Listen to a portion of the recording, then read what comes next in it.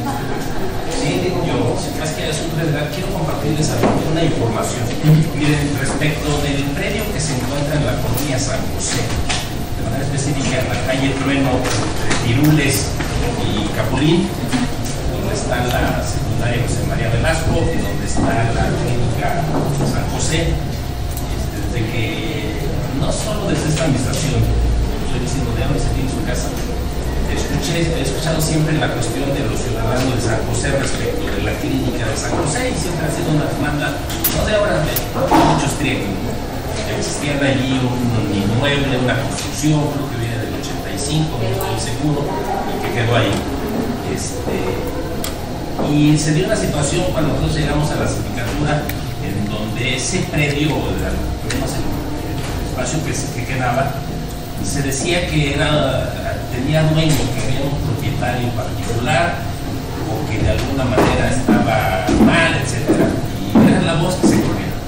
Eh, haciendo una revisión completa de la historia, vimos, eh, en el caso de la colonia San José ha sido una de las colonias, dependiendo en especial de las colonias, que mejor tuvo un fraccionamiento, digamos, muy conforme a la ley, y logramos ver en el caso del plano maestro de Corea, ahí identificamos ese predio, por eso les hablo completo, les estoy hablando del predio de San José, la clínica.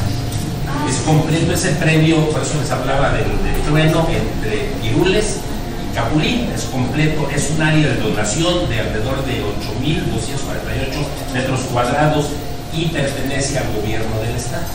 Y así quedó. Y en aquel entonces, de manera especial, dice a la Secretaría Estatal del Trabajo con una subdivisión prácticamente la mitad. La parte donde actualmente está la secundaria era hospital, está señalada como hospital, y la otra como una clínica. Así la mitad. De ahí entendía por qué la gente hablaba de una clínica.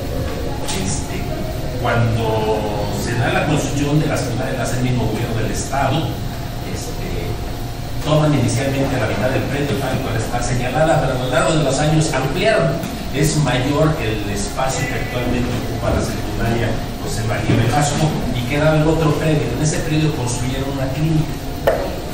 Bueno, para que tengan información, por eso les básicamente información. Una vez que tuvimos el antecedente, revisamos quién era el propietario particular de ese predio y detectamos que había un error por ahí. Que el propietario al que se refería no correspondía ni las dimensiones ni las colindancias o sea, el número de lote era el mismo, pero no correspondía, o sea, no puede ser de 120 metros cuadrados, 120 metros cuadrados, y hablaba de la calle de atrás, me parece que es Siguera. Pues ya revisando si existe ese, no sé si fue un error humano o un error intencional, no puedo yo emitir ningún juicio de eso, pero ya haciendo la revisión, este, se hizo la corrección eh, correspondiente de acuerdo a lo que ellos eh, en el área de catástrofe, de tenían que hacer este, tomando como base este plan original y ya que no, de hecho en el gobierno del estado lo siguen teniendo como propiedad de ellos. Entonces, ese es en cuanto a la información. Entonces, es del gobierno del estado, el predio ya no está del tamaño que estaba y ahora hay una. ¿Por qué les menciono La semana pasada eh, me invitaron, mi calidad de síndico, el eh, coordinador administrativo del ICEM aquí en Chicoruapan, compañeros que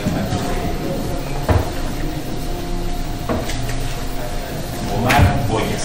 ¿Qué es lo que está solicitando? Me parece que le dieron un oficio a la señora presidenta.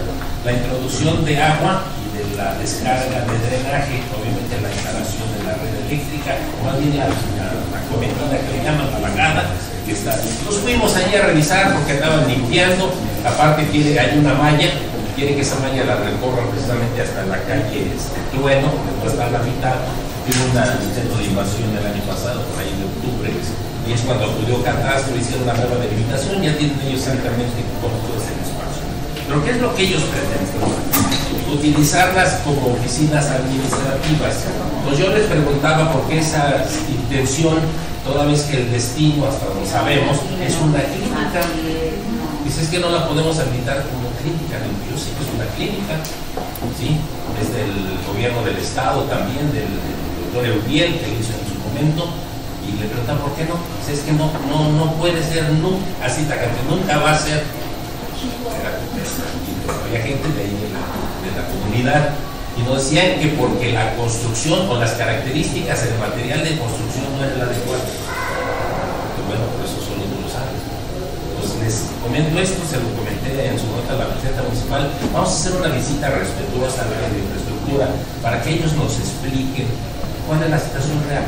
No podemos emitir ahorita una opinión ni nada, porque es lo que me comentó el administrador. Él dice, lo que sí puedo hacer es usarla como oficina administrativa y dejar yo mi oficina de ahí en la colonia Emiliano Zapata y a lo mejor ese espacio para hacerlo cubículo para otro medio. Digo, este, bueno, vamos a revisarlo, ¿no? Entonces creo que por ahí hay una petición, sería importante. Creo que es la idea de aguantar hasta que revisemos y en la semana vamos a ir a planificar en la área de infraestructura que nos indiquen exactamente qué. Porque había vecinos de la colonia la verdad todos emocionados, sea, qué bueno que ya va a dar Y sí son varios cubículos, ¿eh? Yo visto en la selva la Carmona, lados están peores y sin embargo hay médicos. Entonces, y, y, sí, debe Dios por allá en Chiapas, ¿no? Entonces, mi ingenuidad le decía, bueno, no la podemos utilizar así, y de tajante dijo que no. Entonces ya lo habíamos pensado, antes estaba la oficial. Que aparte podría llevarte el gobernador, donde destinó en esa zona 3 millones de pesos. Digamos, la idea básica es que nos instruya la infraestructura. ¿Qué, es, ¿Qué hace falta? ¿Qué se requiere? Porque está, está incluso se está deteriorando.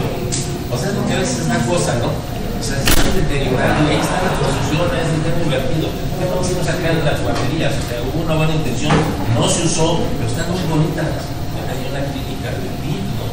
Pues en este caso igual, ver la posibilidad que haya voluntad, decir, ¿qué te falta? Yo creo que conectar ese drenaje y allá del agua no había problema, pero que funcionara como clínica. O sea, no es médico. Perdón de interrumpir. Yo creo que sería importante, bueno, sí, Omar, muy bien, lo conozco muy bien. Eh, ¿Por qué no irnos a otra instancia Sí, más arriba de la de ¿Por qué siempre se enfrentapona siempre en lo que él dice? Sí, sí. Y piensa que lo que él dice es lo correcto, cuando no es así. Entonces yo creo que podría Sí, yo incluso lo comenté. Yo conozco las escaleras no me gusta brincar mientras trabajo. Cuando digo, vamos contigo, vamos con tu jefa, que no de con su jefa, y me iban a llamar hace ocho días. Entonces ya, ya le avisamos que vamos a ir directamente. Por eso, pero ya le avisé, ¿no? Vamos a ir directamente a infraestructura y ahí ya lo que nos digan. Sí. ¿no? Eso era lo que les quería comentar. Gracias. Como presidente,